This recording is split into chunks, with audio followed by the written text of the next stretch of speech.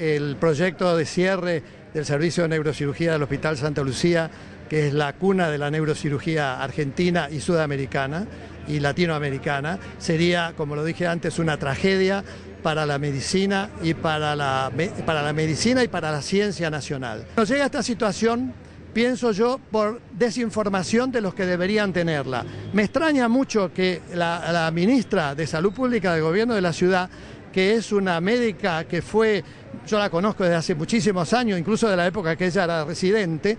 que eh, ha sido jefa de un servicio acá de este hospital, que ha sido directora de este hospital, está embarcada en un proyecto de destruir este hospital. Ese tesoro que tenemos acá,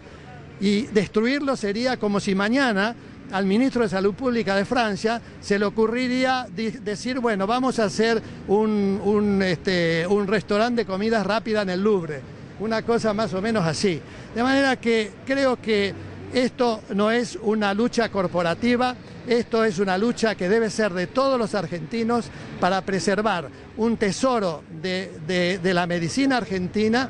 y sobre todo porque es un hospital público que está gratuitamente al servicio de la comunidad entera, de todo el país e incluso de nuestros países limítrofes. Hay una política de achicamiento del sistema de salud que tiene que ver con un tercer paso que es el de destrucción del recurso humano. La ciudad de Buenos Aires se ha caracterizado por no solamente tener un recurso humano de excelencia, sino por formar profesionales no solamente de la Argentina, sino del exterior, como bien dijo el doctor Vaso. Acá se han venido a formar gente de Estados Unidos, de Francia, de España, de países latinoamericanos. Y nosotros creemos que estos servicios que han costado muchísimos años en formarse y que tienen una trayectoria, experiencia aquilatada, no pueden tocarse. Es evidente que está eh, en, el, en el cerebro del jefe de gobierno lo privado y no lo público.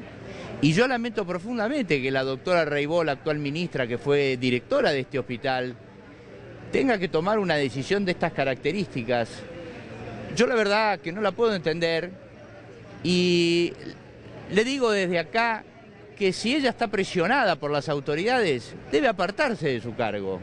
porque no puede ir contra su propio hospital. Venimos eh, soportando o padeciendo el cierre paulatino o el achicamiento de la salud pública de la Ciudad de Buenos Aires, hoy en esta versión de canibalización de un servicio esencial, como explicó el doctor Vaso. Mañana a las 10 de la mañana convocamos un abrazo simbólico al hospital con los vecinos, con eh, los trabajadores de la salud, con los médicos, enfermeros, con eh, todos aquellos que tengan una posición en relación a la defensa de la salud pública que es tan importante para la Ciudad de Buenos Aires y para nuestro país.